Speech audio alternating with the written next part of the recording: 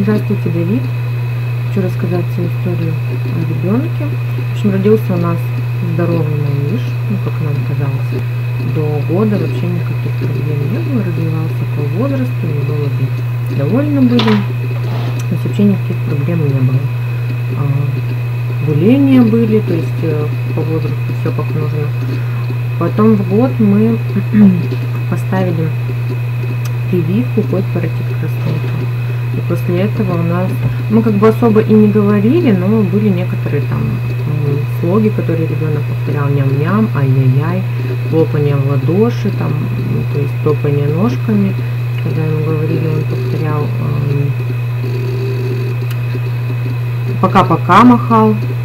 Потом это все исчезло после прививки. То есть как ребенок перестал учиться чему-то новому, стали проблемы с пониманием речи, плохо стал отзываться на имя. Нет у нас, его и не было указательного жеста, то есть ребенок ничем никак не привлекает наше внимание. Есть игры у нас странные, это взмахи руками, ну, это как бы не играть, но стимуляция называется. когда мы смотрим мультик или чему-то рады, мы а, машем руками, но это как бы стало реже, было чаще немного. Сейчас э, редко.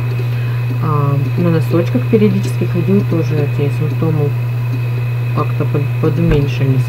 Ну, появились вот удары головой, э, что-то мягкое, то есть наши ноги там, ну, то есть выше колена он подходит, так как бы стукается головой, потом э, двери мы закрываем, открываем часто. Ну, потом, что у нас еще такое прям... Ну, ковер закручивается, лежит, то есть игры у нас вообще происходят лежа.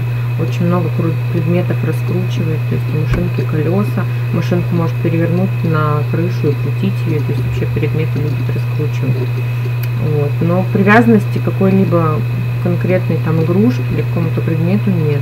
В принципе, ребенок спит хорошо, спокойный, но единственное, если ему что-то запрещаешь, говоришь нельзя, он э, плохо реагирует. То есть у нас, в общем, нет понимания речи, не, нет речи, то есть ни мама, ни папа, даже элементарных слов у нас нет, но есть сейчас появились слоги. Вот. Э, в общем, вот такие вот проблемы. Я подозреваю, что, возможно, у нас есть аутизм, но врачи пока в силу его возраста говорят, что нужно наблюдать, пока они не могут.